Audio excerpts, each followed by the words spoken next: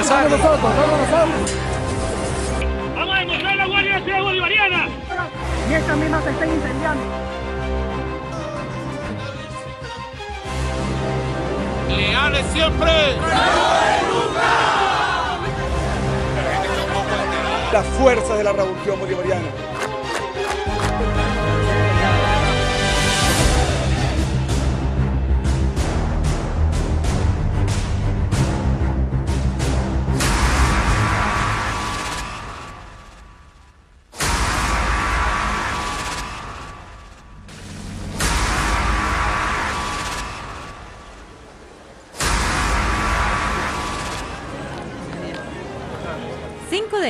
Del 2019, un mes y 15 días antes del intento del ingreso de la supuesta ayuda humanitaria el 23 de febrero. Era el inicio del año parlamentario. En sana paz, en sana paz, todo en paz. La paz no era lo que precisamente estaba por venir. Mike Pompeo, secretario de Estado de Estados Unidos, un día antes de la instalación de la Asamblea Nacional, el 4 de enero, giró instrucciones al Grupo de Lima y acordaron desconocer a Nicolás Maduro, electo presidente de Venezuela, el 20 de mayo del 2018. Y se insta a Nicolás Maduro a no asumir la presidencia, que respete las atribuciones de la Asamblea y le transfiera provisionalmente el poder hasta que se realicen nuevas elecciones. ¿A quién sugerían transferir el poder? Iniciaba así una nueva fase de la injerencia. Luego de la sesión, la instalación formalmente haremos declaraciones a lo menos. Maduro sería presidente a partir del 10 de enero. Juan Guaidó era el elegido de Estados Unidos. Nosotros nos encontramos eh, frente al fenómeno de marketing estadounidense. Es una creación a la medida. Ellos sopesaron todos los aspectos. El tema de la juventud, color de piel, esposa joven con características, por cierto, eh, fenotípicas muy parecidas a la esposa de Leopoldo López, rubia. Eh, utilización de eh, los hijos en, en la campaña que se realizó. Nosotros queremos para todos los hijos de Venezuela. Prosperidad, paz, por supuesto poder vivir en nuestra tierra. Y un aspecto, yo creo que importante, hegemonía y acaparamiento de los medios de comunicación bajo la figura de Guaidó. Que eso no se hace de la noche a la mañana. Eso implica contratos y negocios bien específicos con medios de comunicación nacionales, pero sobre, sobre todo internacionales.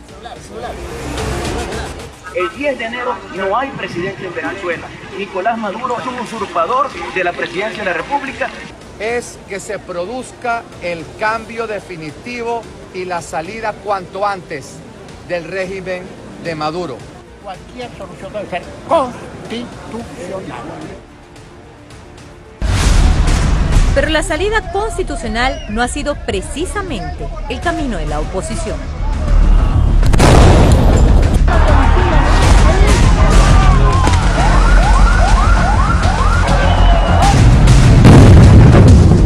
2017 estuvo marcado por acciones violentas, conocidas como guarimbas, que buscaron derrocar al presidente Nicolás Maduro y de esa manera exigieron elecciones presidenciales adelantadas y que se adelanten las elecciones presidenciales para que el pueblo pueda votar. Las guarimbas fueron derrotadas al ser electa la Asamblea Nacional Constituyente y obligó a la oposición radical a sentarse en una mesa de diálogo en República Dominicana. Cuando todo estaba listo, dieron la espalda al preacuerdo y a la mediación. Paradójicamente, ese sector de la oposición que tanto había exigido elecciones adelantadas no participó.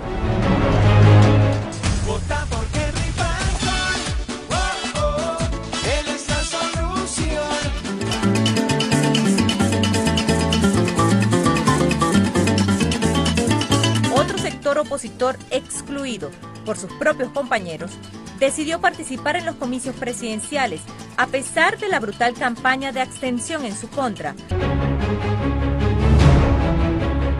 No participar en ese fraude electoral y dejar desoladas las calles del país, dejarlos solos. Finalmente, el 20 de mayo del 2018, se celebraron las elecciones resultando reelecto como presidente de Venezuela Nicolás Maduro, con 67,80% de los votos.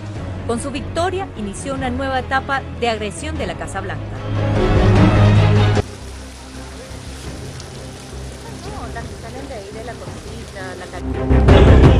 El 5 de enero del 2019, Juan Guaidó fue juramentado como presidente de la Asamblea Nacional. La razón le correspondía al partido Voluntad Popular, según los acuerdos internos de la oposición de mayoría parlamentaria. Llegó por descarte.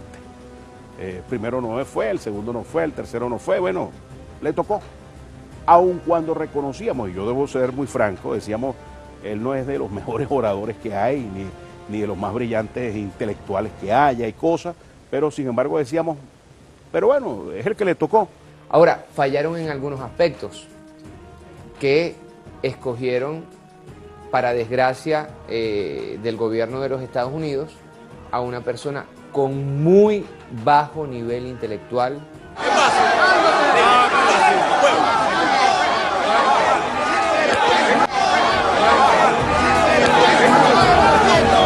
Con muchas eh, carencias eh, en el discurso, en la oralidad.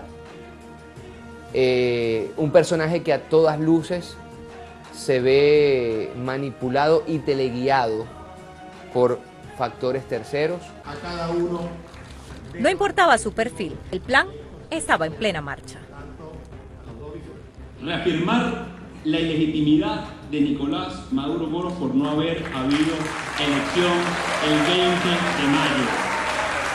Que a partir del 10 de enero estará usurpando la presidencia de la República. En consecuencia esta Asamblea Nacional como único poder legítimo electo por los venezolanos asume la representación del pueblo. Los venezolanos fuimos convocados el año 18 a una elección presidencial. Yo formo parte de millones que fuimos a votar. Para mí nunca fue explicable, ni que me lo digan como me lo quieran decir, lo, de, lo del 20 de mayo del 2018 de la abstención. Lo que vale son las presencias, es decir, los votos. Hay que ver quién tiene mayoría de los electores. Y de los 9 millones de electores que nos presentamos, Nicolás Maduro obtuvo la mayoría. ¿Será que por eso nos atacan las oligarquías? ¿Será que por eso atacan a nuestro pueblo? Se prefirió no ir a votar. Bueno, prefirieron que fuera Maduro. Es, decir, la mayor contradicción que, que yo he podido ver. Y lo más lamentable es que hubo una comunidad internacional que se prestó también a eso. Resulta que llegamos al año último de la, de la, del periodo constitucional y la oposición no tenía candidato. No tenía método para escoger el candidato. No tenía programa. No tenía eh, estrategia. No tenía organización para defender los votos. Bueno, ¿cómo va a ir para las elecciones en esas circunstancias? Pero es culpa suya, señor. Otros dijeron decreto la ausencia absoluta del cargo, aunque el presidente estuviera allí trabajando. Usted puede opinar que bien, regular o mal, pero jamás ha habido ausencia del cargo. Y otros simplemente basados en esa ficción de la ausencia del cargo, pensaron que la Asamblea Nacional podía nombrar un sustituto, una especie de presidente provisional porque estaba ausente el titular. Yo quiero decir que todo esto es una fantasía. Quienes promovieron la abstención comenzaron a regar por el mundo que esa elección no tenía valor y quien les está hablando fue a votar por un candidato distinto de Maduro. Pero en la democracia hay que saber ganar, hay que saber perder.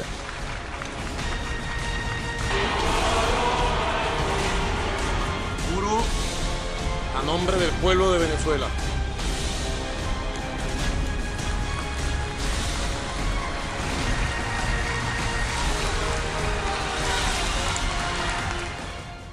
y lo reconocemos como nuestro comandante en jefe.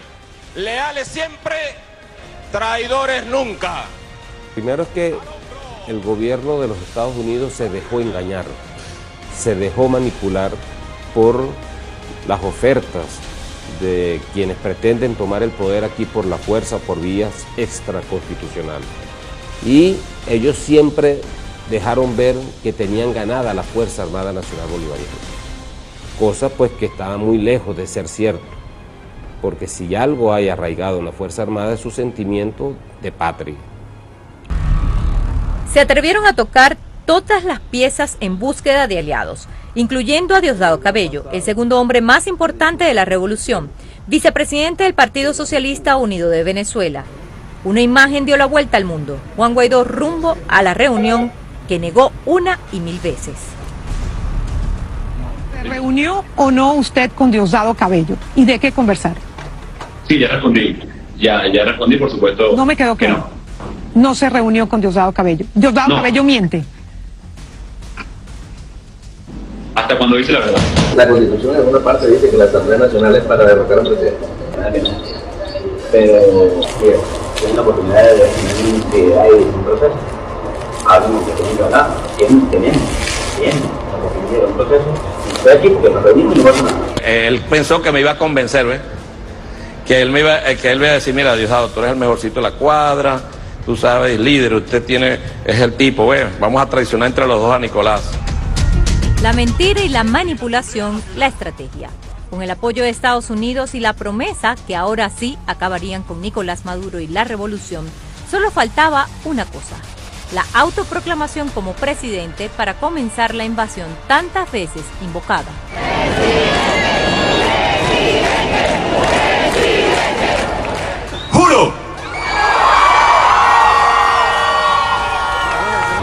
Asumir formalmente las competencias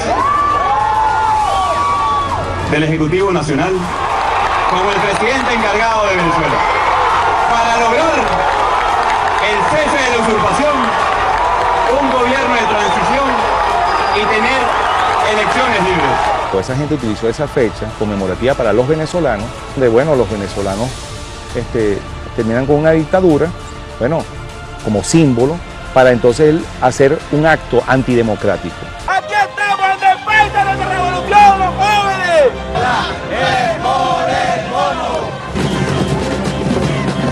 El presidente de nosotros llama Nicolás Maduro Moro.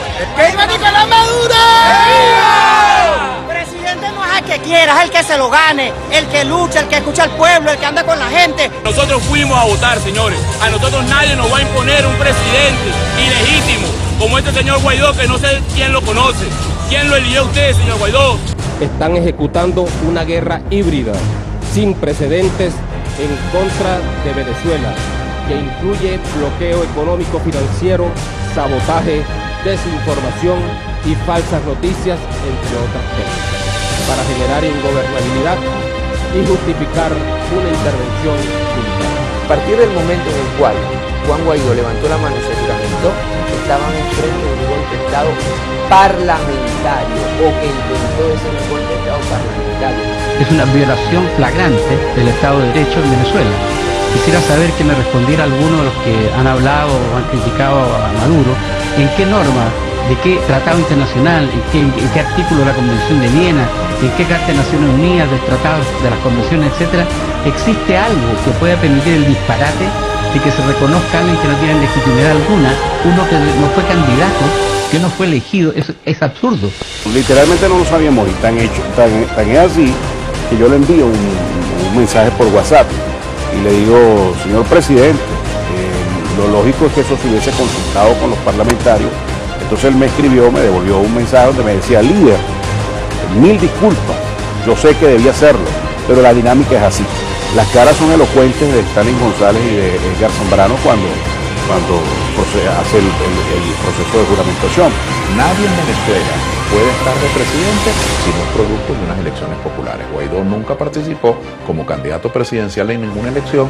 Ya las cartas estaban echadas, ya ese nombramiento, sacado esa, esa selección sacada con pinza, ese hombre, esa marioneta del imperio que lo pusieron allí a violar nuestra constitución, a hacer llamados a la Fuerza Armada Nacional Bolivariana.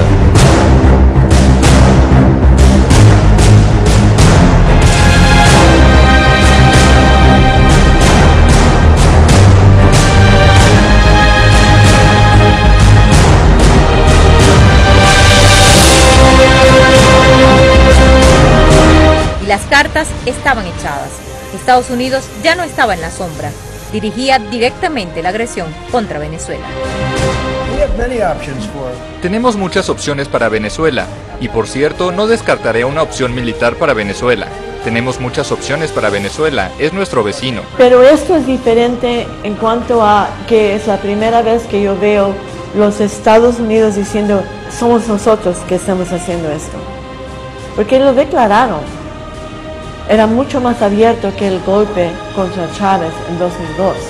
Vamos a trabajar ya es ayuda humanitaria, una coalición internacional multilateral eh, a través de los países vecinos y la comunidad internacional de eh, eh, entrada a Venezuela, poderle proveer al gobierno del presidente Guaidó ayuda humanitaria. Desmonetizamos su moneda y a través del sistema bancario internacional hicimos que la moneda creciera su valor y luego vamos y decimos, mire lo malo que es el gobierno de Venezuela, su moneda no vale nada. Bueno, no fueron ellos, fuimos nosotros que hicimos inútil su moneda. Mira, no pueden alimentar a su gente, no pueden alimentar a su gente porque les hemos cortado toda fuente de ingresos. Por lo tanto, todo se ha hecho muy mal. Quienes tengan armas de famosa que se llama sanciones contra los pueblos, ellos dicen, usan el término de que este gobierno malo, lo otro bueno. El bueno significa que se inclina en frente a ellos. La agresión era inminente. Estados Unidos y sus aliados se preparaban para la invasión del 23 de febrero. Su misil, la supuesta ayuda humanitaria. En todas partes es un poco de la misma manera. Estados Unidos utiliza la ayuda humanitaria para atribuirse el papel del bueno. Y, si existe una verdadera ayuda humanitaria, Estados Unidos la utiliza para introducir armas junto con esa ayuda. La ayuda interesada por el gobierno americano tiene una connotación política evidente. Y el sistema de las Naciones Unidas, la Cruz Roja, la Caritas no puede participar en una acción política en la que se utilice primariamente la ayuda humanitaria. Desde Mike Pompeo, secretario de Estado de Estados Unidos, hasta el comandante del Comando Sur desfilaron por Colombia. Este mensaje es para los militares venezolanos. Ustedes al final van a ser responsables por sus propias acciones.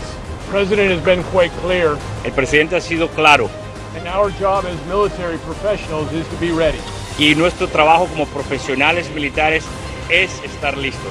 Tras la amenaza, la respuesta fue contundente.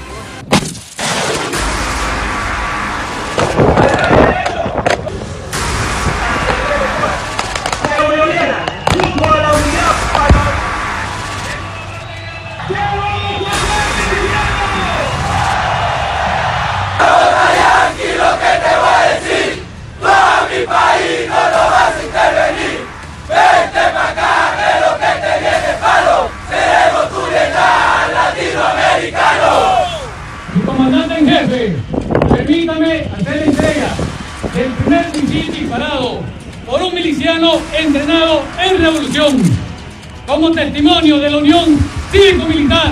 Porque Venezuela quiere paz, tenemos derecho a la paz, a la tranquilidad, para desarrollar nuestro país. No nos metemos con nadie, somos un pueblo pacifista, pero que nadie se meta con nosotros, que no nos amenace Donald Trump, no. Fuera Donald Trump de Venezuela, fuera sus amenazas. Los militares venezolanos comenzaron a prepararse, pero para defender la paz del país. Hijos e hijas, hermanos y hermanas de nuestra Fuerza Armada Nacional Bolivariana, es momento de resistir, es momento de luchar, es momento de seguir adelante, no es momento para rajarse y para dudar, no, es momento de dignidad, es momento de patriotismo. El momento de lucha y resistencia para los revolucionarios.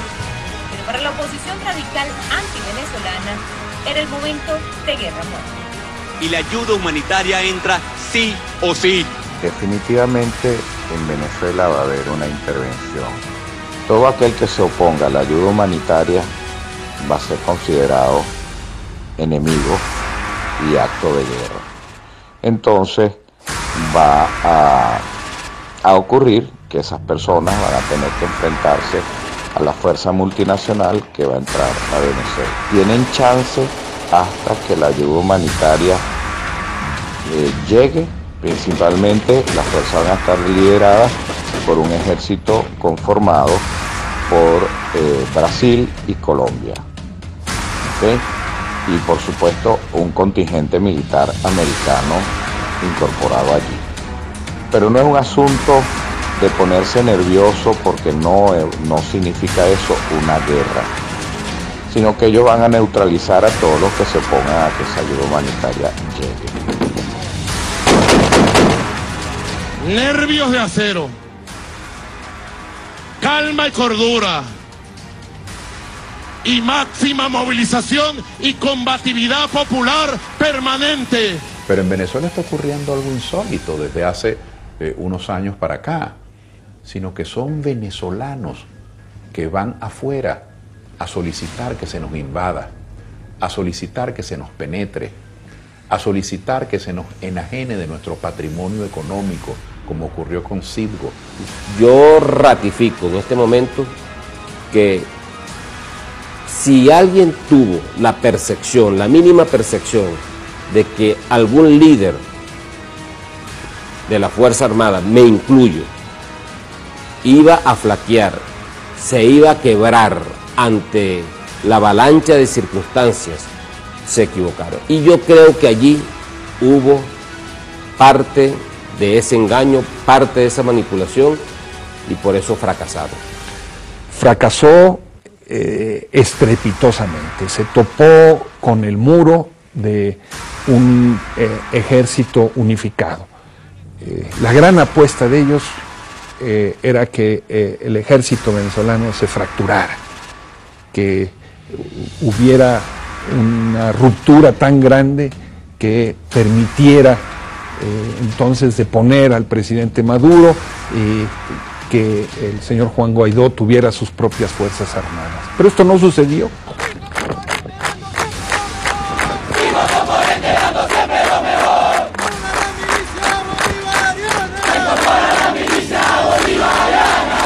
La milicia bolivariana, el nuevo componente de la estructura militar, fue clave en esta fase de asedio internacional.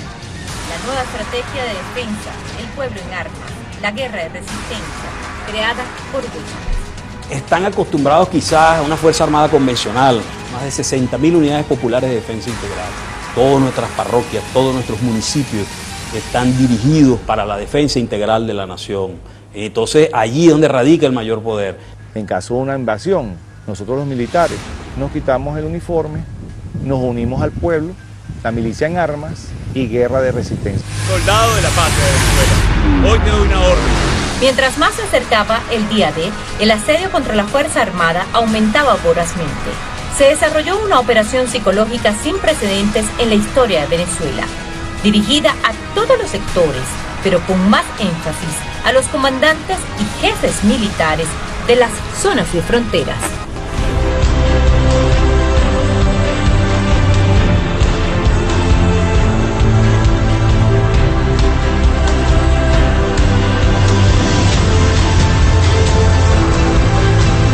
Quince días antes del 23 de febrero yo empecé a recibir mensajes de texto de un número colombiano. En esos mensajes eh, me hacían invitación a que me fuera al otro lado con mis guardias nacionales. Ellos generaron internacionalmente toda todo un ambiente para también acondicionar psicológicamente al planeta Tierra la justificación de la invasión a Venezuela. Una cosa era la sensación de invasión y otra la realidad. Así latía el puente Simón Bolívar los días previos al intento de la invasión. La dinámica fronteriza normal. No era precisamente la radiografía de un país en crisis humanitaria, pero sí con mucha expectativa de lo que podía pasar.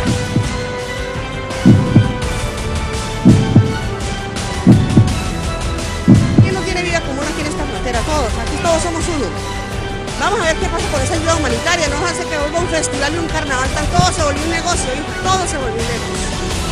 La hermandad estaba amenazada la supuesta ayuda humanitaria cuanto a intervención eh, militar en, eh, para derrocar al régimen de Nicolás Maduro. Creo que no debemos descartar ninguna opción. Esto que hizo Duque es probablemente la, la peor actitud que haya tenido un presidente en toda la historia de la República. Es que el territorio nacional es sagrado. La Constitución no permite estacionar tropas extranjeras en Colombia, y mucho menos agredir desde aquí a un país vecino. Estaban dispuestos a todo, todo lo que hicieron y todo lo que organizaron era una locura, porque era una verdadera locura. Si se incendia Venezuela, se incendian a Venezuela, corremos el riesgo de que se incendie Colombia. Uno sabe dónde empiezan las guerras, pero nadie sabe dónde terminan. Miren Afganistán, miren Irak, miren Siria, miren Libia. Acciones de guerra de las potencias de los últimos años que han destruido a esos pueblos. El gobierno de Colombia prestó el territorio para la agresión contra Venezuela, y no cualquier territorio, el norte de Santander, uno de los 10 departamentos más pobres del país neogranadino. Ese, donde están los campos de muerte del paramilitarismo, fosas comunes, desaparecidos y pobreza, fue el escenario donde se construyó la narrativa de ayudar a Venezuela para liberarla de las supuestas violaciones de derechos humanos. Entonces era muy lógico ¿no? ver que queríamos ayudar, que el gobierno colombiano quería ayudar a un país hermano supuestamente con una ayuda humanitaria, pero la pobreza eh, que se vive en Cúcuta y la informalidad, un 70% de informalidad vive esta ciudad, y eh, la falta de empleo en una ciudad tan de frontera, eh, daba como unas cosas muy lógicas en, ese 23 de, de febrero que, que, veo que aquí en Cúcuta hay mucha gente como, como así en la calle, el gobierno les presta algún tipo de ayuda o algo. Pero como yo estoy viendo en televisión y están diciendo que si la ayuda humanitaria para Venezuela y todo eso. Pero para Venezuela. Y para ustedes los colombianos. Le tocó jugar a Venezuela. Para llevar a las hermanas y hermanos de Cúcuta más de 20.000 cajas CLAP para ayudar con la situación de extrema dificultad que viven miles de niñas y niños allí en Cúcuta. Pero ¿cuál fue la respuesta del gobierno colombiano? Cerrar la frontera. Fíjate, fíjate cómo es de inmoral el gobierno colombiano. Que cierra la frontera ha sido el gobierno colombiano quien ha cerrado la frontera para que no pase la ayuda de Venezuela al pueblo de Cúcuta. Y llegaron los alimentos para la población colombo-venezolana. Fue un momento simbólico, una cadena de solidaridad. Mano a mano iban tejiendo y enviando un mensaje al mundo de resistencia y dignidad. Una cadena humana por la paz. Cadena humana. Para evitar el- el- el- tanta mentira que dicen. para que se defienda, viejo. que va a ir a solo. Evitar la cantidad de mentiras de las redes sociales que mantienen diciéndole mentiras a la gente, diciendo lo que no es. ¿Existe en Venezuela crisis humanitaria? No existe, mentira. Existe es un bloqueo de los señores norteamericanos. Mike Pence, nada más y nada menos que el vicepresidente de Estados Unidos, dio inicio al ataque el 22 de febrero. La estrategia, la misma que han empleado en el mundo. Hola, I'm Mike Pence. Assalamu alaikum. Nicolas Maduro is a dictator with no legitimate claim to power. Muammar Gaddafi has lost legitimacy to lead and he must leave. On behalf of the American people, we say to all the good people of Venezuela, estamos con ustedes. We will now stand with you in your struggle to realize the peace and prosperity that freedom can bring. Let me express the unwavering support of the United States. In this effort, you will have a friend and partner in the United States of America. We will stay with you until democracy is restored and you reclaim your birthright of libertad. And the aspirations of the Libyan people for freedom, democracy, and dignity must be met. We are standing with the people of Libya. We are with you. We stand with you. Welcome to Venezuela 8 Live. Su primera avanzada, el concierto Venezuela iLife. Los cañones, las voces de más de 30 artistas internacionales que ese día convirtieron sus cantos en tambores de la guerra. partir de hoy nuestro país va a ser diferente y libre. Queremos que pase la ayuda humanitaria y sí va a pasar.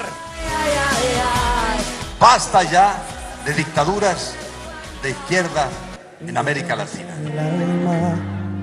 Sí que me has hecho falta. Todos esos cientos de miles o millones de venezolanos voluntarios que van a venir aquí, vamos a abrir el canal humanitario. Mi vida yo soy feliz. un conjunto de artistas y cantantes ligados a la mafia Stefan en Miami. Lo que se sonaba, lo que se escuchaba en esta parte de Cúcuta era viento de guerra. Los medios de comunicación de acá, colombianos, estaban todos los días bombardeando mediáticamente ese momento, tanto el concierto como esa supuesta ayuda humanitaria. Todo era un show mediático para hacer una invasión militar a nuestra República Bolivariana de Venezuela. Eso es eh, tan sencillo como una especie de espectáculo al mejor estilo Hollywood, que se llevaron hasta Richard Branson, que se lo llevaron para allá, que me imagino que querrá coltán o algún tipo de sustancia para hacer sus cohetes.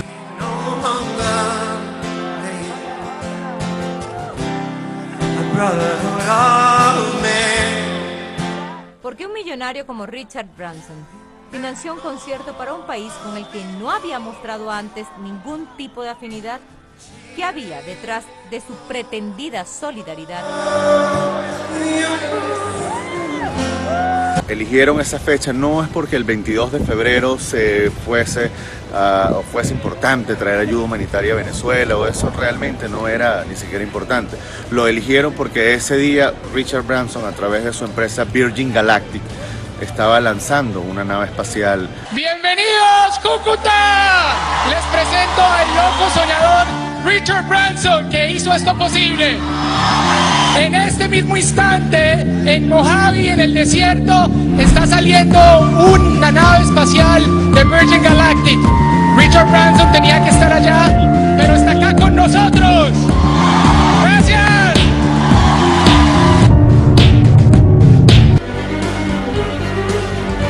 Un símbolo llamó poderosamente la atención y está vinculado a los intereses de Richard Branson. El logo del A-Light Venezuela eh, tenía el mapa completo con su Esequibo, cosa que ellos nunca han reconocido. Aparte de esto, eh, tenía las ocho estrellas. Es decir, ellos están reconociendo el Esequibo por primera vez.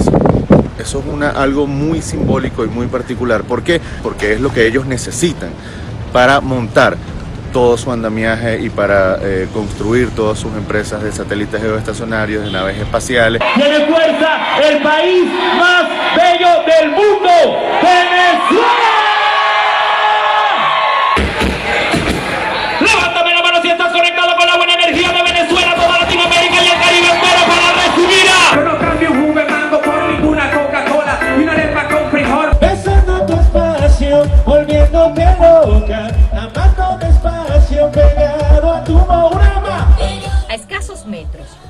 Venezolano, otro concierto, pero por la paz. Dignidad para el trabajo, para el mundo más canción, un pasito en multitudes, para la América en nación. Para los niños la ternura y para el alba mi rosal, inmenso como mi llanura, sol de muy manantial, para la guerra nada,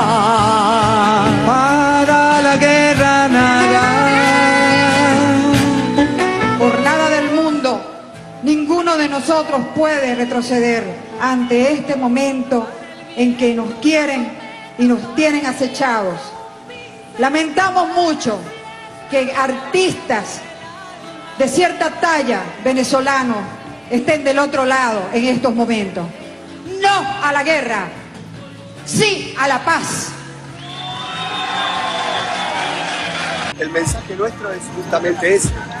Es hermoso escuchar un para la guerra nada, para la paz todo, todo. Paz o nada. ¿Por qué guerra? El 22 yo fui para Cúcuta, un poco para palpar la, la tensión, para sentir un poco lo que se preparaba y era de mucho odio, de mucho odio. De hecho, todas las personas con las cuales hablaba me decían, mañana vamos a cruzar la frontera, vamos a llegar al Táchira, vamos a llegar a Caracas, vamos a tumbar al dictador y matar a los chavistas. Y cuando yo les decía, pero ¿y la ayuda humanitaria? La respuesta, ay sí, efectivamente la ayuda humanitaria. O sea, del lado colombiano era claro que la ayuda humanitaria era un pretexto. Estábamos en, esta, en, esta, en este momento de altísima tensión, donde, mm, donde todo podía pasar. En Colombia, con toda la industria cultural al servicio de la agresión, ya hasta los políticos habían hecho sus cálculos. El día que Venezuela regrese a la normalidad económica y democrática, el empleo que se va a generar en Cúcuta va a ser impresionante, porque todo el proceso de reconstrucción va a pasar por acá. Entonces yo a los, a los habitantes de Cúcuta, de, de toda la frontera, inclusive hasta Bucaramanga, les diría alístense, prepárense, porque el dinamismo económico que eso le va a generar a esta economía fronteriza no lo han visto nunca en su historia. ¿Quién controló eso? Semejante, a nivel mundial, semejante escándalo, semejante boom que le dieron. No le dieron nada. Y no le quedó nada aquí a... Nada, nada, ni a Cúcuta ni a nadie, ¿dónde está la plata? Le vendió la idea a sectores eh, comerciantes y el empresariado cucuteño que iban a ser los grandes beneficiados el día que Maduro se cayera. Ellos engañaron a todo el mundo, no solamente engañaron a los cucuteños, a los comerciantes, engañaron a los gringos, porque los engañaron a todos. Le vendieron la idea de que las Fuerzas Armadas venezolanas iban a derrumbar, de que un millón de personas iba a cruzar la frontera con Colombia para ingresar a Guaidó en los hombros. Hasta allí llegó Juan Guaidó, el autoproclamado presidente de Venezuela. Evadió la prohibición de salida del país ordenada por el Tribunal Supremo de Justicia, pero era la estrella principal. El cómo había cruzado hacia Colombia hasta ese momento era todo un enigma que luego se conoció y de qué manera. Que todo lo está organizando la presidencia de la República y la Embajada de Estados Unidos. Entonces eso a nosotros nos prende más las alarmas después que se entrega el señor Juan Guaidó en, por parte de Colombia, Paraíso Colombia, que lo recibió el alcalde Henry Manuel Valero Peinado, ya ahí ellos tenían su esquema montado de seguridad por, nivel, por parte de Colombia, el cual ahí se le entregó y ellos siguieron su, su trayectoria. Cuando el señor Guaidó aparece, eh, y aparece en la cancha de fútbol del corregimiento de Agua Clara, el municipio de Cúcuta, y aparece el helicóptero de la Fuerza Armada, y aparece toda la delegación de la Presidencia de la República, eh, nosotros enseguida nos sorprendemos. Porque si nosotros decimos que los caminos verdes, que son las trochas ilegales, las utilizan maleantes, las utilizan narcotraficantes, ¿cómo es que entra un personaje a nombre de un Estado ilegalmente por una trocha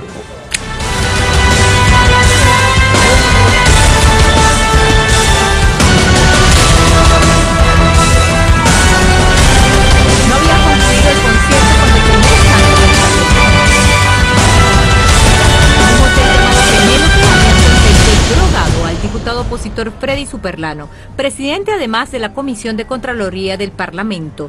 Su primo, quien era su asistente, falleció de sobredosis. ¿Cómo explicar que se habían ido de fiesta mientras su narrativa se enfocaba en la calamidad que estaban viviendo los venezolanos y a pocas horas de ingresar la tan anunciada ayuda humanitaria para paliar la crisis?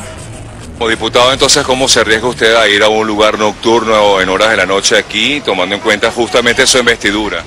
No era eh, normal, más nada ya que sea excesivo. No se discutía nada de la ayuda humanitaria, se discutía, por ejemplo, se era un día de júbilo ese día, porque era un día donde se había, se había alcanzado de que Venezuela fuera reconocida a nivel mundial, la situación en la que tenía. Era muy normal que el venezolano sintiera alegría y nosotros no somos extraterrestres. Después de ese lugar decidieron continuar el júbilo en el motel Penélope con dos prostitutas. ¿Y esto qué, qué, qué hace esta silla? ¿Cómo? Para montarse, ¿pero qué hace ejercicio? El congresista estadounidense Marco Rubio, quien dirigía la operación contra Venezuela, trató de tapar el escándalo diciendo que el diputado Superlano había sido envenenado en el desayuno. Mientras tanto, en Cúcuta el hecho corría como pólvora y era apenas la punta del iceberg de todo un entramado de corrupción que se escondía detrás de la fachada humanitaria y que meses después se destaparía. Sabemos es que dirigentes de la oposición venezolana que viven en Colombia eh, tenían maletines llenos de dólares, eh, cargaban de muchísimo dinero, era una locura. Y por supuesto, todos estos sitios eh, de moteles y prostíbulos de la ciudad y discotecas, todas las noches eran cerrados por ellos y pagaban en dólares, los sacaban borrachos de ahí y armaban escándalos. Es una práctica que es utilizada en Colombia por sectores ilegales, sobre todo narcotraficantes, eh, de cerrar los establecimientos, los... El 22 en la noche el gobierno de Venezuela también cerró sus fronteras por serias amenazas contra la paz y la soberanía del país, luego de hacerlo inexplicablemente Colombia, que intentaba ingresar la ayuda humanitaria. De varias partes de Venezuela se movilizaron jóvenes, mujeres, hombres, ancianos y organizaciones sociales para unirse a los militares y a las milicias en defensa de Venezuela.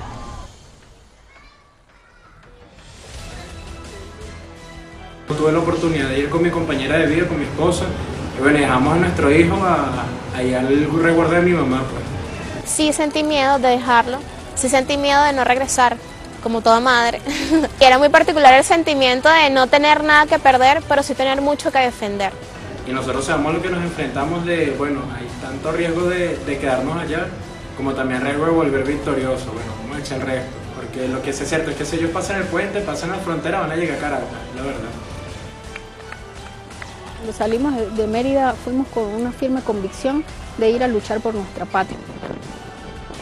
Yo me fui con mi esposo, dejé mis dos hijas en mi hogar. Efectivamente, cuando me despedí les dije que yo iba simplemente a luchar por el futuro de ellas, independientemente de que estuviese yo o no estuviese, era por su futuro. Y ellas, ellas lo entendieron. Ellas saben cuál es esta lucha y ellas van con la mentalidad de seguir con, con esta lucha, simplemente porque necesitamos que nuestros niños sean libres defender, defender la patria, el futuro de nuestros hijos, el futuro de, nuestros familiares, el futuro de la producción, todo, todo, tenemos que defender todo, perder, perder nada.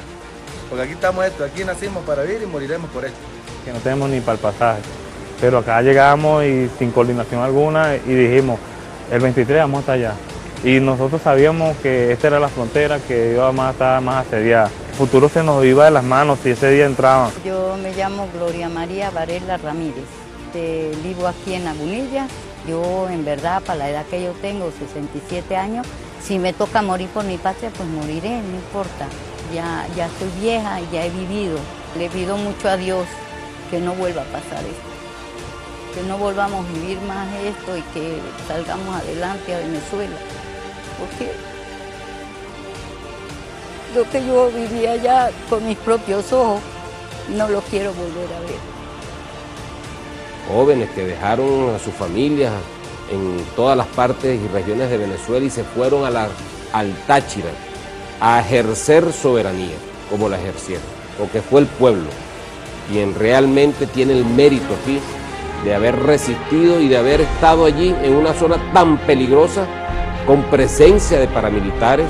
Fue la conciencia del pueblo venezolano, fue hasta allá a defender un partido político, no a alguien en particular, sino a defender una revolución, a defender un país.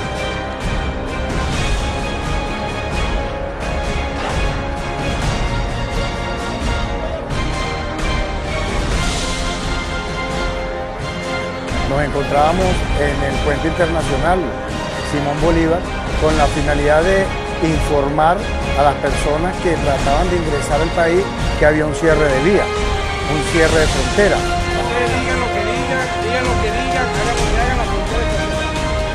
Estaban 50 femeninas de la Policía Migratoria y 30 oficiales de las unidades de orden público, todos desarmados, sin portar armas de fuego.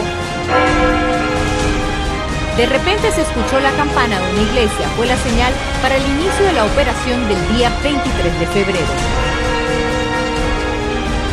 ¿Por qué cierran sus fronteras y anuncian eso cuando en el día de hoy tenían previsto esa actividad? Eso siendo como a las 8 de la mañana, nos encontramos cuando de repente, este, o sea, de una manera inesperada, se aparecieron las tanquetas de la Guardia de Sacramento 212, estábamos todos de espaldas cuando de repente pues por la parte de atrás fue que llegaron las tanquetas.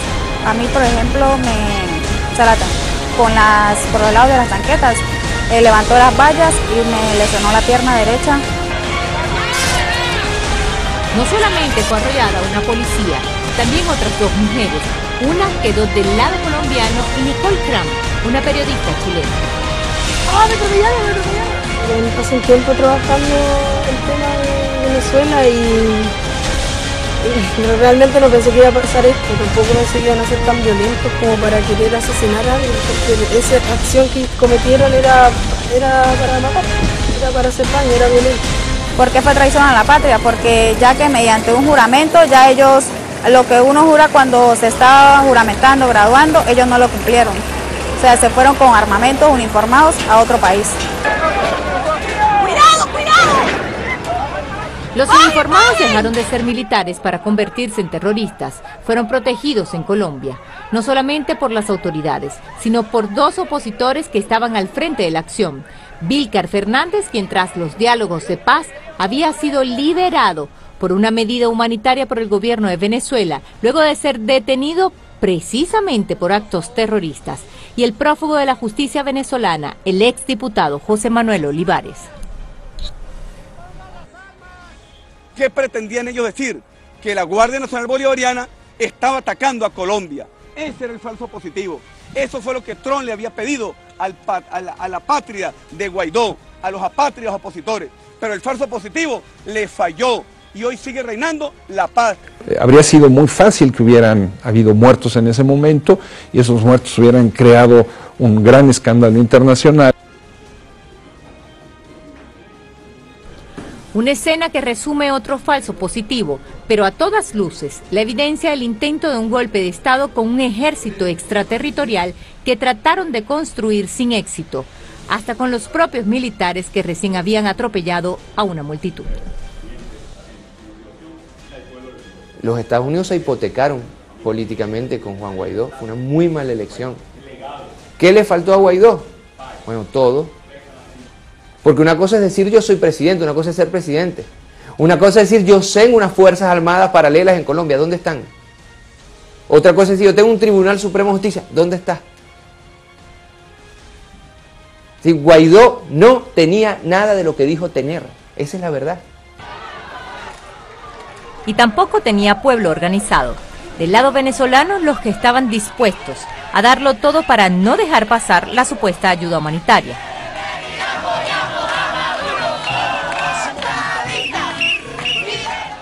Del lado colombiano, algo sin precedentes. Venezolanos apoyados por colombianos, dispuestos a atentar contra sus propios compatriotas, alentando una invasión extranjera. Comenzó la batalla. Si hoy ustedes se quedan allí parados y no dejan pasar la ayuda humanitaria, dentro de muy poco van a venir a salvar a esa gente de otra manera y van a ver, va a haber, va a haber mucha sangre derramada. Retiren este piquete y que permitan que la ayuda humanitaria Paradójicamente, esa era su estrategia, salvar vidas derramando sangre, la guerra. ¡Mira, lanza! En defensa de la patria.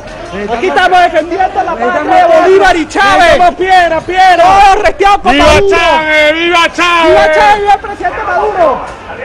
Y cuando llegué había dos barreras policiales y muy poca gente. En un cuestión de segundos la primera barrera policial vuela por la violencia de eh, los grupos de choque que estaban atacando por eh, varios costados desde la ciudad de San Antonio. De oposición, de oposición. Estaban eh, eh, atacando, se escuchaban tiros, Mientras tanto, desde Cúcuta movieron las gandolas hacia los puentes tienditas Simón Bolívar y Francisco de Paula Santander, que unen a los dos países, dispuestos a ingresar como fuera. Y desde Venezuela, el otro ataque. Mira, vente, vente, vente. De este lado, nuestra tarea es mantener la presión ciudadana y esperar el ingreso de esa ayuda humanitaria que se encuentra a pocos metros. Como una especie de, de asedio, ¿no? Para, para romper el, el cerco y poder, eh, poder eh, enfrentarse con, con, con las fuerzas que estaban ahí. Era una especie de tenaza que nos querían hacer, con unas marchas coordinadas por dipu- diputados opositores que están dentro de Venezuela, tanto por el lado de Ureña como por el lado de San Antonio, y con los diputados opositores que ya habían pasado a Colombia. ¿Cuál era el objetivo? A tomar el control del puesto comando de la Guardia Había miedo en el momento, en el momento había miedo para este, va- este, llenarnos de valor para combatir. Y no teníamos de otra, sí, o combatíamos o combatíamos, porque de un lado estaba la oposición y del otro también. Sí, no teníamos de otra, era necesario vencer. En primera línea éramos jóvenes, porque bueno, asumimos el papel, tenemos, digamos, más, mayores condiciones para, para asumir ese frente. Detrás de los jóvenes, las personas de la tercera edad. el desempeño de la persona de tercera edad, sobre todo la- las mujeres de tercera edad, porque yo hice una especie de identificación, yo veía como si fuese mi abuela pelear con una, una rabia, pero también eh, picar piedra, alentar a los combatientes, eh, distribuir agua, o sea, había toda una cadena logística que ellas cubrían. En verdad yo de ver que los jóvenes no, no, no se, o sea, ellos corrían y no se abastecían para ayudar a los guardias también porque ellos se veían acosados. Bueno, yo, yo busqué, yo dije, no, yo no tengo arma de nada, pero voy a buscar piedras. Y empecé a llenar bolsas de piedra y llevaba, me veía para el puente y las muchachas me buscaban y abuela, ¿a dónde, ¿a dónde está? No, yo ya más bien venía, yo iba y les llevaba piedras, buscaba potes y, y todo, o sea, para allá, para acá. Y... Uno a veces estaba cansado de lanzar piedras eh, y estar pendiente. Y cuando uno estaba de manos, con las manos caídas, cada agotado, y llegaban las señoras y se cachan, ellas mismas le ponían las piedras a uno en la mano. Cada quien sabía el rol que iba a tomar en ese momento. Y eso fue lo que nos, nos hizo engranarnos como equipo, engranarnos como, como ciudadanos de una nación para defenderla. Ese día Venezuela probó su arma más poderosa, las milicias, el pueblo en armas, la nueva doctrina de defensa de Venezuela, la Unión Cívico-Militar. Lo que pensaba era defender lo mío, defender mi patria. En ese momento uno no piensa si se va a morir o si va a vivir, no. Yo soy enfermera también y los médicos eran también de la milicia. En la milicia consigue usted enfermeros, doctores, de todo, consigue ahí. Todos son, y abogados, Profesionales. todos son profesionales la mayoría. El hecho de estar allí, vinculación ciudadano y, y Fuerza Armada, fue totalmente perfecta. llama eh, enormemente la atención cómo eh, esta defensa del territorio venezolano no solamente recayó sobre los militares o sobre los policías, sino también sobre las milicias, pueblo uniformado, y sobre la población civil. Eh, el agradecimiento al pueblo venezolano por mantener la- a, la patria firme, a la patria digna, con dignidad, eh, nosotros todos juntos, en unión cívico-militar, la milicia bolivariana, el pueblo en armas, fue precisamente a ellos a, a- a los que se le, se le da, se le atribuye esa gran victoria. Pero la Unión Cívico-Militar finalmente terminó siendo la estrategia ganadora frente a las otras estrategias nada más y nada menos que de los Estados Unidos y de la Europa Schengen. Tratar de violar las fronteras de un país, ¿dónde se ha visto eso? En ninguna parte del mundo. ¿Ustedes creen que Europa va a permitir que un Estado de, de la Unión Europea le sea violadas las fronteras? Nadie lo va a permitir. En ninguna parte del mundo van a permitir. ¿Usted cree que Estados Unidos va a permitir que le violen sus fronteras? No lo van a permitir. El otro frente de batalla fue debajo del puente Simón Bolívar. Tome la foto. Y corónenlo, corónenlo. No toque, chamo. Corónenlo, hijo de puta, los coronaron con una bomba. Desde aquí abajo de esta posición se encontraban estos ciudadanos lanzando cualquier cantidad de objetos, bombas molotov. Una de ellas cayó en mi pecho, afectando mi, mi cara, mis manos. Tuve quemaduras de tercer grado, ¿En cuánto porcentaje? ¿verdad? En aproximadamente el 40%. 40% de, de mi cuerpo. Mira, debajo del puente, ellos de su lado agarran, digo yo, que eran billetes de dólares, igual no nos preocupaba.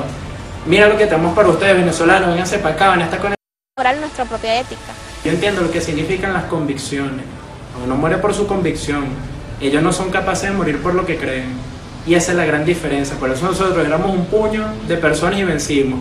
Y ellos que eran unas masas, olas de personas, no pudieron con nosotros. A eso de, la, de esas diez y media de la mañana, pensé que había llegado la hora, la hora de morir. Porque era tal la tensión que se veía que era inminente una invasión. Al mismo tiempo, esa misma tensión se vivió en Ureña, en el puente Francisco de Paula Santander. Pero antes de avanzar la caravana, los que dirigían la operación advirtieron a los violentos que no podían robar ninguna caja. En los camiones no viene pan, en los camiones no viene pasta, en los camiones no viene carne, en los camiones vienen unos suplementos alimenticios para personas en desnutrición, específicamente para niños en desnutrición. Usted agarra un elemento de eso y se lo toma como loco, se puede jugar en contra, se puede enfermar y se hace daño. Eso es lo único que viene acá. Pequeños complementos nutricionales para niños, no hay más allá. Curioso, los adultos podían enfermarse al tomar los suplementos para la desnutrición, pero los niños no. La verdad es que no venía tal ayuda humanitaria. Los camiones lograron pasar la línea fronteriza. Nos paramos en toda la orilla del puente del lado venezolano. ¡Vamos a cesar, vamos a cesar! ¡Vamos a cesar! En vista de que nosotros no permitimos el, el ingreso de las gandolas, se empezaron a poner violentos, empezaron a tirar bombas molotov. El New York Times, a los 15 días, confirmó lo que ya Telesur había demostrado con evidencias en la propia escena de los hechos. So let's back up the TV footage and see what happened. A small group of protesters starts throwing rocks and Molotov cocktails. We'll focus on this one protester. Here we see him throwing two Molotovs toward police. Let's look at the scene again. Four trucks are stranded on the bridge. The protester approaches from here, behind the third truck. He launches one Molotov, but the second one separates, and the burning rag veers off toward the trucks, not the police. Let's fast forward a little, and we'll synchronize the security footage. We can see that a fire has taken hold on one of the trucks. This is just 30 seconds after the burning rag landed in this area. This sequence of events shows the fire was most likely started by an errant Molotov, not by Maduro's security forces. Las gandolas que supuestamente ayuda humanitaria. Vemos que la mitad de la gandola es material para fomentar las guarimbas, ya que traen pitos, cable, máscara antigás. Pero lo que sí se encontró muy claramente ahí, lo que pudimos ver, fue una gran cantidad de alambre para establecer eh, las guarimbas ¿no? y, y frenar el avance, eh, silbatos. Y otra cosa que nos llama poderosamente la atención son estos ganchos de ropa. ¿Qué tiene que ver esto con una supuesta crisis humanitaria? También vemos acá estos pitos. ¿Qué tienen que ver estos pitos con la crisis humanitaria? La agresión de Estados Unidos fue por varios frentes al mismo tiempo. Paralelamente al intento de invasión a petición de Washington, se desarrolló una reunión nada más y nada menos que en el Consejo de Seguridad de Naciones Unidas, donde se deciden las intervenciones humanitarias o militares, que no tuvo éxito. Estados Unidos no ha logrado sus objetivos. El objetivo que se ha fijado no lo ha podido lograr. Entonces, ¿para qué convocar a esta sesión? Ahí está la fuerza pública, miren dónde estaba la barrera venezolana y el camión se quemó aquí y de allí estaban lanzando bombas molotov. Pero qué fácil es decir que Maduro masacró al pueblo y que Maduro mandó a quemar el camión con ayuda humanitaria. El plan era claro, buscar una causa belli, la quema de los camiones, su coartada perfecta. Y aquí está el símbolo de la barbarie. Un camión de medicamentos y alimentos incinerados. Que querían pasar pacíficamente a su territorio para llevarle a ciudadanos que se mueren de hambre y que no tienen medicamentos lo que necesitan para sobrevivir. Lo que les quiero decir es lo siguiente, en el momento que entren allá y los elementos se empiecen a entregar y empiecen a apoderarse del armamento venezolano, tienen que dar de baja a esos huevones también,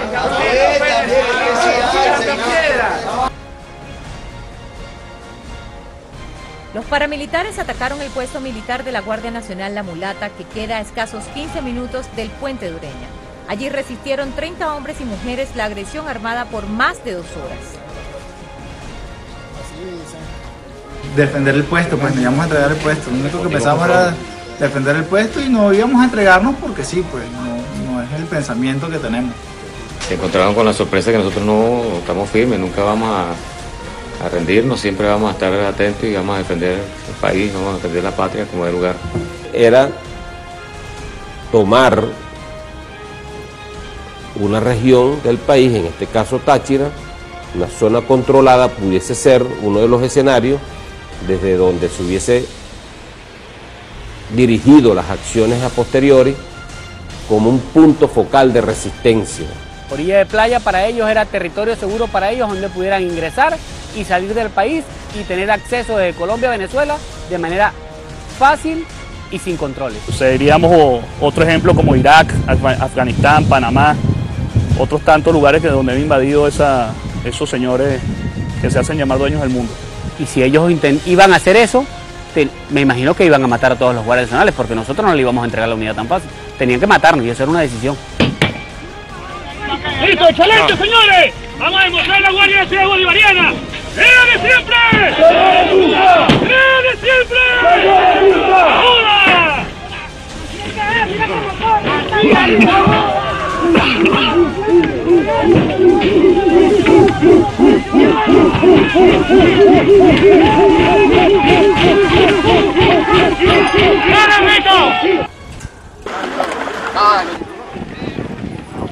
Tampoco estaban dispuestos a entregar el territorio los militares y pueblos indígenas del estado Bolívar frontera con Brasil.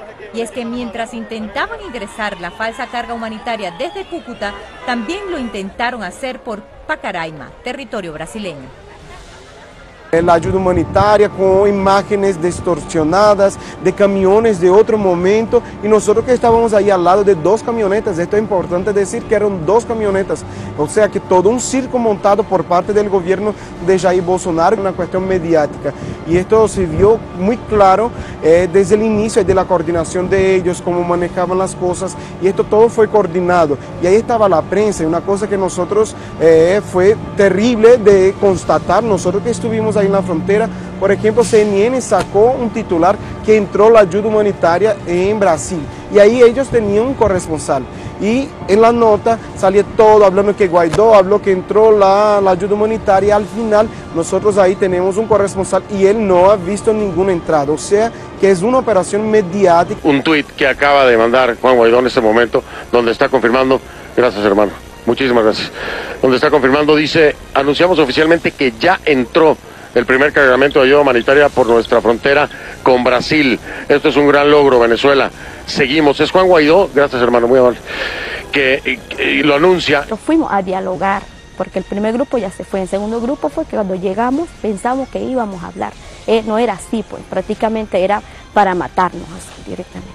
Y eh, de aquí de los jóvenes salieron tres heridos de nuestra comunidad por defender no solamente el municipio de Gran Samá, defendiendo el país, Venezuela. Nosotros hablamos con ellos, nosotros no podemos enfrentar entre hermanos porque somos venezolanos. Nosotros queríamos eh, decir al pueblo, al mundo, que del pueblo venezolano somos de paz, no somos de guerra. Eran apenas dos camiones, pero que simbolizaban la causa para la invasión. No, nosotros no, no, no, tenemos por qué estar necesitando ayuda humanitaria. Nosotros tenemos brazos, manos para poder conseguir nuestros alimentos fracaso para, el, para la oposición, para esa gente que quisieron hacer el mal a nuestro país. Eso fue, para mí eso fue un fracaso para ellos. Para nosotros fue una victoria. Una victoria que ayudaron a consolidar los militares brasileños. Cuando él se dio cuenta de aquello, me dijo, general, no se preocupe, yo los voy a mantener allá detrás de mi puesto, no los voy a dejar pasar. Porque esto que están haciendo aquí no es manifestación pacífica. Esto que están haciendo aquí no es que quieran pasar una ayuda humanitaria. Esto que están haciendo aquí ya es vandalismo. Con Colombia la comunicación fue nula. Pudimos superar toda elevación del conflicto, toda escalada del conflicto. En Santa Elena de Guairén, allí en la línea, con Pacaraima, la situación fue otra. Gracias a la comunicación profesional, ética que hubo entre oficiales de la Fuerza Armada Nacional Bolivariana y oficiales de la llamada Operación Acogida que lleva Brasil en su territorio sobran las imágenes de la complicidad de la policía y el ejército colombiano con el grupo de violentos. Actuaron en conjunto, lo que no le permiten hacer a sus compatriotas en manifestaciones. Ese día se hicieron los ciegos, sordos y mudos. No hubo límites para la agresión.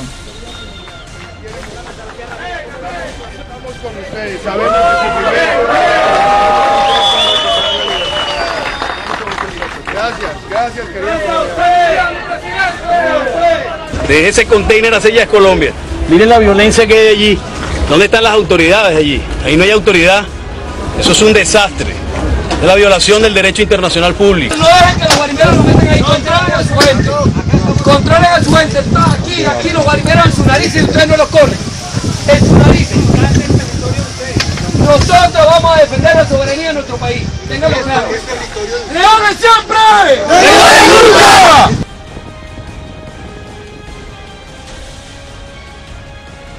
Mientras del lado colombiano sonaban los tambores de la guerra, Venezuela buscaba frenar esos tambores y anular la violencia. En plena mitad del puente Tienditas, el principal escenario mediático, el comandante militar de la región no estaba pertrechado con un fusil. Fue un mensaje poderoso. Se defendía una causa justa, la vida por encima de todo y la paz. Para la guerra, nada. No, no, no me vieron atrincherado con un fusil. ¿Qué querían ellos? Eso es lo que ellos querían. Eso es lo que ellos quieren. Ellos quieren a nosotros vestirnos para, enfrentar, para enfrentarnos con la misma violencia, con las mismas armas, con sus mismos métodos.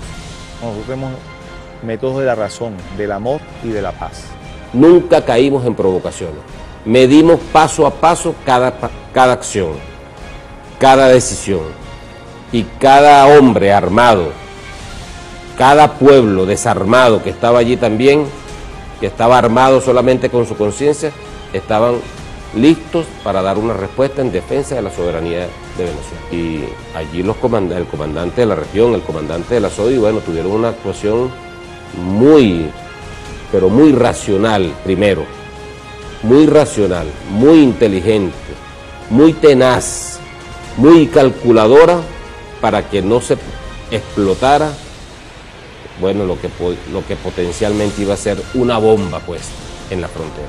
La prudencia que la, la principal de las virtudes cardinales, prudencia, ante la arrogancia, ante la imposición del arrogante Goliat, bueno, la tranquilidad, la serenidad, la perspicacia, la verdad de esta Venezuela un David. Y triunfó la paz, triunfó Venezuela. Caída la noche, el intento de invasión quedó derrotado. No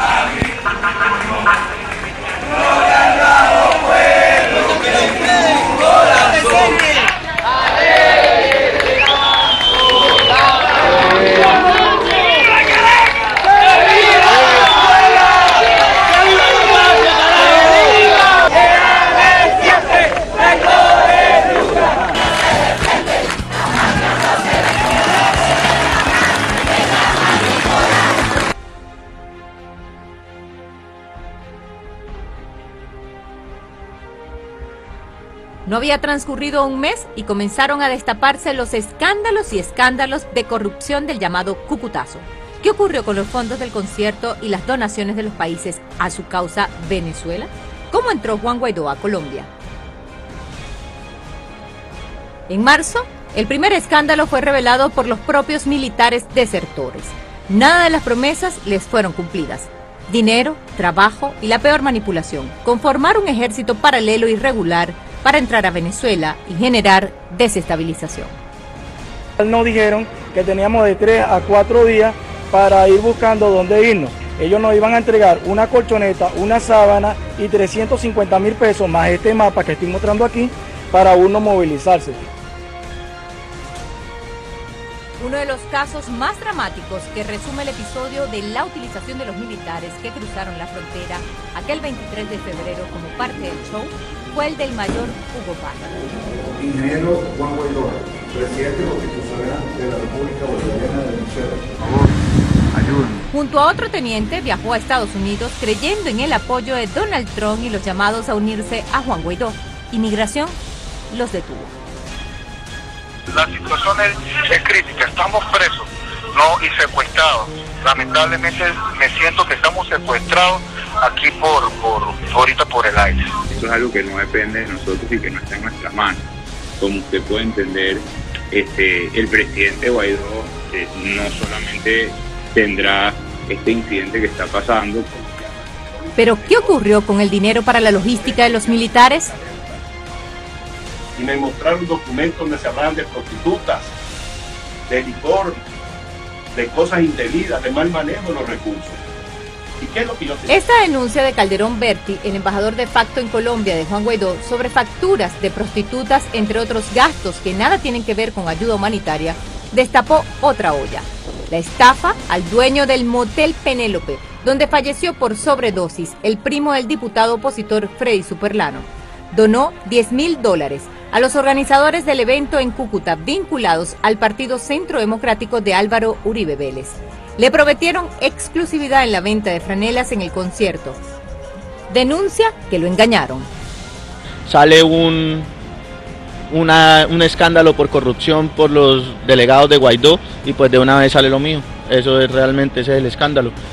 Yo hice una donación porque realmente era un acuerdo comercial que se iba a pactar como una donación y entonces pues no está la plata por ningún lado. Conspirar contra Venezuela es un negocio y siempre lo fue. La oposición tiene 20 años, primero con Chávez y después con Nicolás Maduro, conspirando contra Venezuela y haciéndose de una cantidad inimaginable de dólares. Quizás lo más curioso de esta agenda es cómo algunas potencias financieras y económicas pueden ser engatusadas por unos referentes políticos que no tienen ninguna relevancia en Venezuela. Yo creo que eso es lo más llamativo de este debate.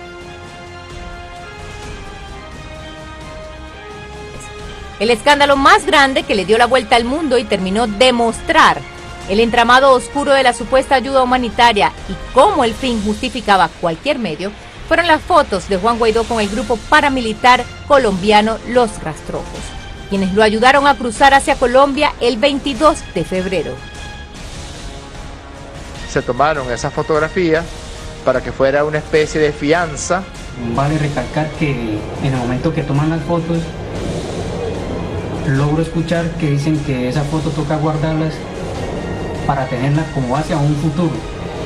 A un futuro eh, de que la empresa o la organización, los rastrojos, se pudieran mover libremente por todo el sector de frontera, sin ninguna presión militar, sin, sin, ningún- sin ninguna presión del gobierno.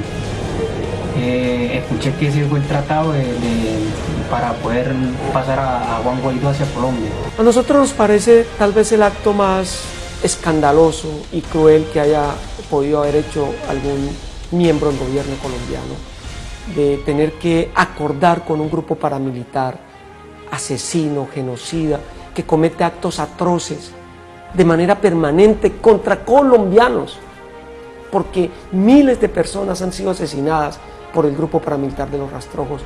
Decenas de personas han sido descuartizadas, inocentes aún hoy en día, que ingresan a ese territorio, son desaparecidos y asesinados y descuartizados por parte de este grupo ilegal. O sea, todo hacerlo para que el señor Guaidó ingresara a Colombia a un concierto. Esto es una cosa escandalosa. El todo vale trascendió las fronteras de Colombia. Un Juan Guaidó que se retrató con los paramilitares, los rastrojos, fue aplaudido por el Congreso en pleno de Estados Unidos como el mejor trofeo de su democracia. El país que se ha impuesto en el mundo con guerras en nombre de la libertad y la lucha contra el terrorismo y el narcotráfico, paradójicamente recibió con honores a quien pactó con terroristas y narcotraficantes.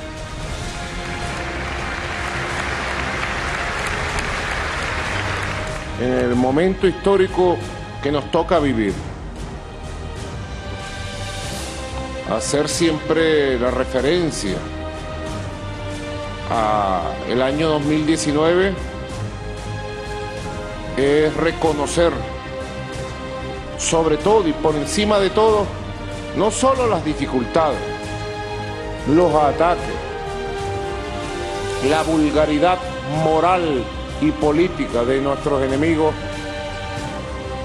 conocida y reconocida en el mundo, la decadencia moral, la payasería, la estupidez de la conducta política de los enemigos de nuestra patria, externos e internos, son hechos.